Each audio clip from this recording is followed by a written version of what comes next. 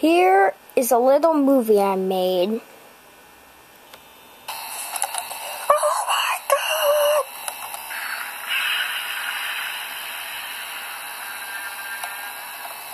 Fire away!